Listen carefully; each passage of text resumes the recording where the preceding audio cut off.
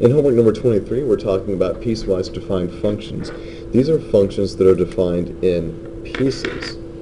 So we have here that f of x is equal to x squared minus 3 for values of x less than 1, and it's equal to negative x plus 3 when those values are greater than or equal to 1. Now, in this homework, we have a couple of extra graphs over here to just kind of sketch out these guys. For example, if I see x squared minus 3, I know this is a parabola with a vertex at 0, negative 3. And so I know where the rest of those points are because we've been doing a lot of these. For, you know, for example, 1 squared is 1, 2 squared is 4, 3 squared would be 9, 5, 6, 7, 8, 9, like this. So this would be what x squared minus 3 looks like. However, this function is not all of x squared minus 3. It's only those points where the x-coordinates are less than 1. So here's when x equals 1 right here. So what we do is that basically we just create a little cut line right here. It's as though you're taking a pair of scissors and you're going to cut this guy. There's your little pair of scissors. You got to cut this, but you're only going to keep part of it. It says you want to keep the parts where the x's are less than 1, so that's going to be on the left side of this. This is what you keep. And you're just going to trash this piece. So you take everything you see here and you're going to translate it over to the major graph over here. So your key points being down here at negative 3, negative 1, negative 2, and so on.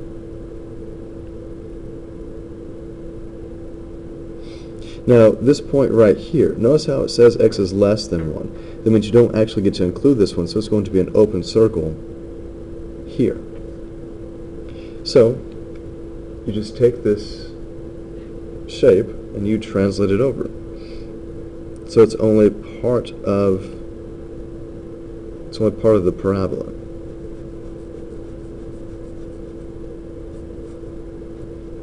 So it should look something like this an open circle here because you can get as close to this point as you want to, but you are not allowed to include it, according to what you see here. Now the other part says negative x plus 3.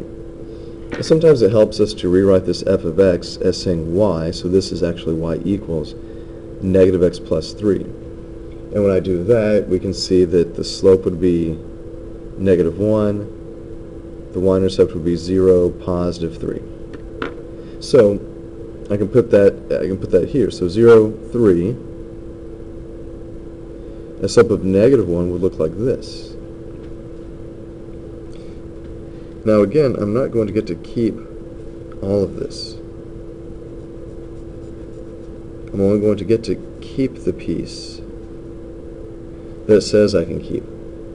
So here it says x is greater than or equal to 1. So again, you're going to cut Make a little cut line here at 1. It says x is greater than, so that means you're going to keep the stuff on the right side of this.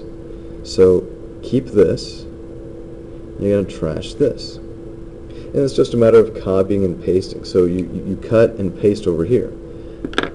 Now, this point right here, which is 1, 2, is included because you do get to equal 1. So this is going to be a solid filled-in point. So here at 1, 2, and I'm going to plot the rest of these points. So I've got this slope, so I know where my points are going to be. I'm just going to use a straight edge to, to finish this.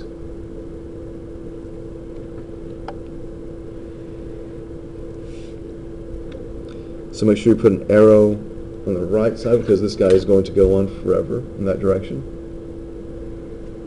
So here's our, our piecewise defined function you will see that this guy does define a function. If I go across here, every time I draw a vertical line, I'm only going to be hitting one point every time. Even right here, when x is equal to 1, you may say, well, oh, there's two points. Uh, this guy is open, so he's not actually there, and this guy is closed.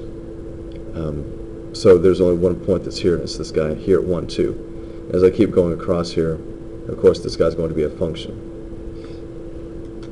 Well, this bottom part should be fairly simple. We're using the same function that we have above, and it says evaluate. Now, when it says evaluate, you have to know where you're plugging things in. This says f of 0. Your input value is 0, so I have to figure out which one of these guys will accept an x value of 0. Is 0 less than 1? Yes, so it goes here. Is 0 greater than or equal to 1? No, so it does not go here. So it can only be plugged into one of these pieces, not both. If you plugged it into both, you'll get two outputs, and that's not acceptable for a function. So if I plug it in here, that means 0 squared minus 3. And of course that's just going to equal negative 3.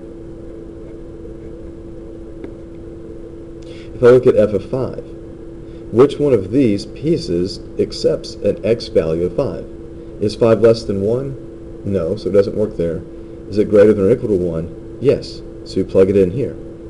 So it's negative 5 plus 3, and that gives us negative 2. And finally, we have f of 1. So, is 1 less than 1? No. But is 1 greater than or equal to? Yes. So it goes here. So negative 1 plus 3 gives me positive 2. Now we could also have evaluated this just looking at the picture.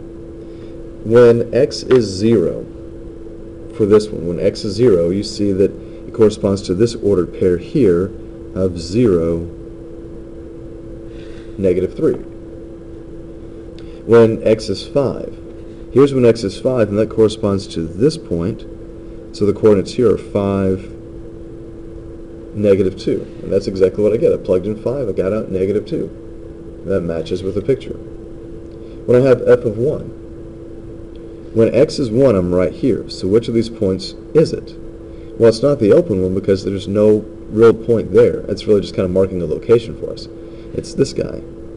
So this guy's the ordered pair 1, 2, and you see that that works out here. I plugged in 1, and I get 2.